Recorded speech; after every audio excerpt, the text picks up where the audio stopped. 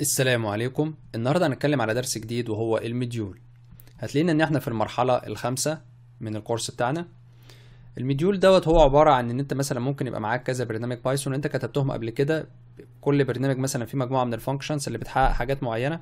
وأنت عايز تدمجهم كلهم في برنامج Python واحد. اتنين vectors vector اول مثلا فيه x1 x2 up to x4 و v2 فيها y1 y2 up to any y يعني. وإحنا عايزين إيه؟ عايزين نحسب ان ال error e1 بتساوي 100 ناقص السم بتاع ال v1 وال e2 بيساوي 100 ناقص السم بتاعت القصة ديت وان ال output بتاعها يساوي ال square root ل e1 مضروبة في ال e2 فاول حاجة إيه؟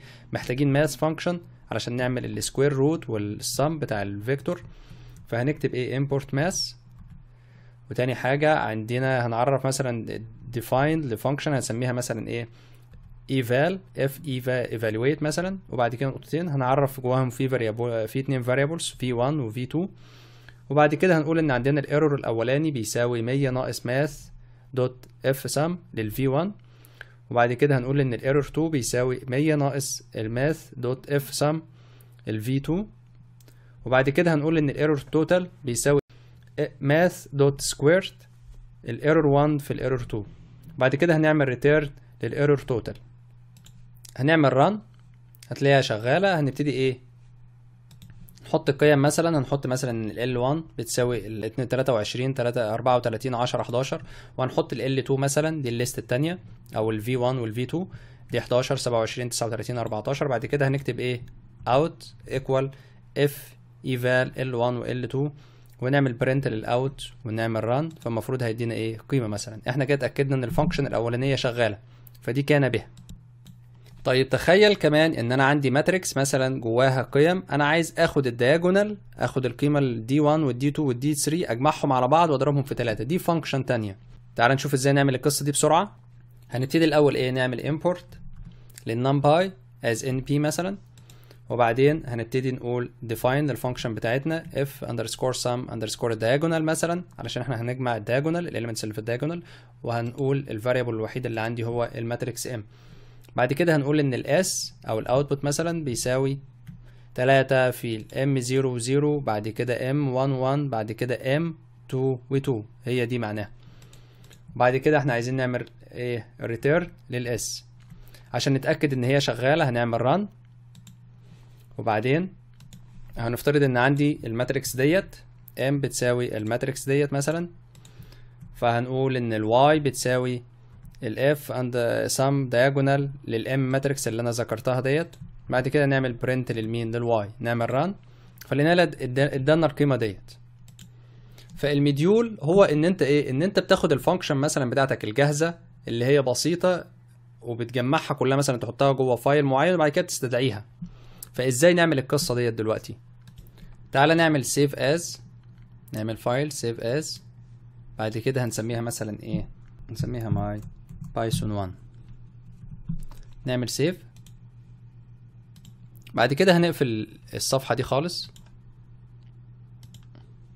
هنفتح new Python file هتلاقي هنا اتسيفت ب my Python 1 هنعمل import.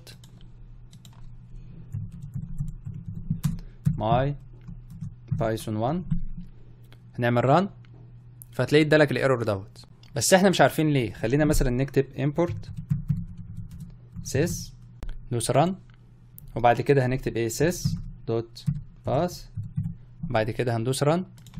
فادي ال directories اللي متسيفة فيها ال Python files فال Python file اللي إحنا سيفناه دلوقتي مش موجود في الد... واحد من ال directory ديت. إذا موجود في أي واحد منهم هيقدر يقراه. طب إزاي نحل المشكلة دي؟ تعال نروح على الكمبيوتر بتاعنا مثلا هنكتب إيه؟ هنكتب مثلا this pc.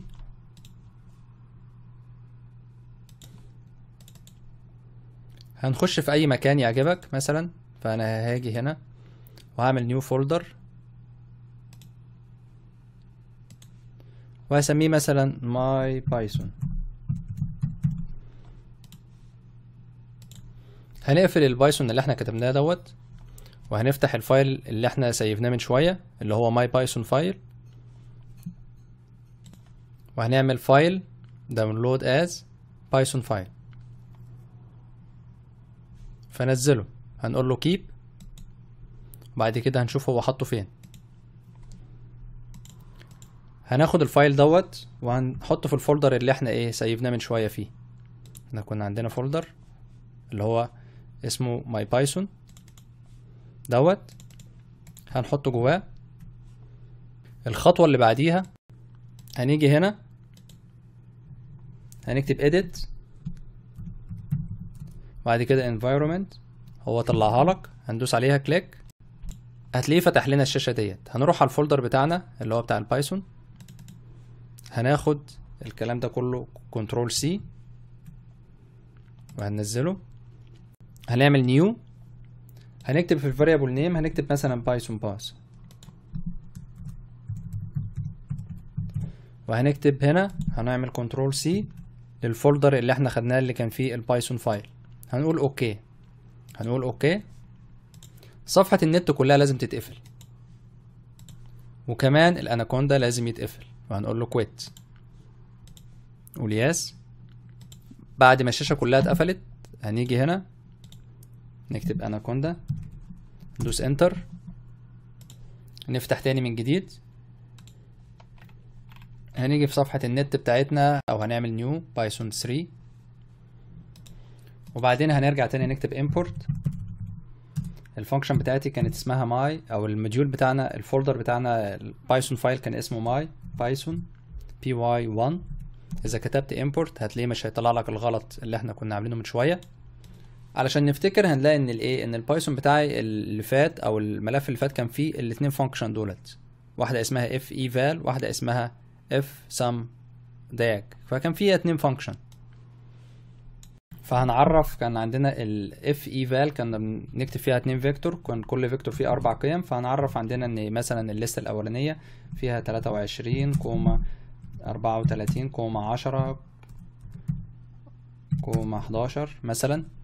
وبعد كده ال L2 بتساوي بعد ال list التانية مثلا نقول حداشر بعد كده comma بعد كده سبعة وعشرين بعد كده مثلا واحد وأربعين بعد كده مثلا zero.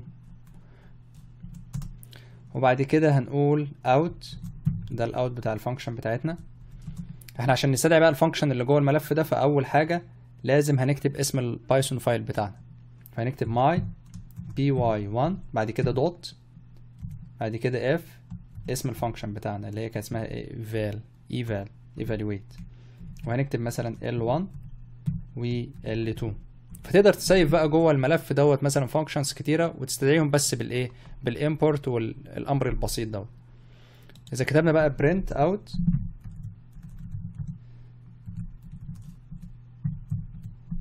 وقلنا run فيدالك القيمة. نفس القصة لل function التانية. تخيل مثلا إن عندي matrix M وال matrix دي فيها ثلاث صفوف كل الصف الأولاني واحد صفر تلاتة والصف التاني مثلا خمسة ستة سبعة والصف التالت تسعة عشرة حداشر.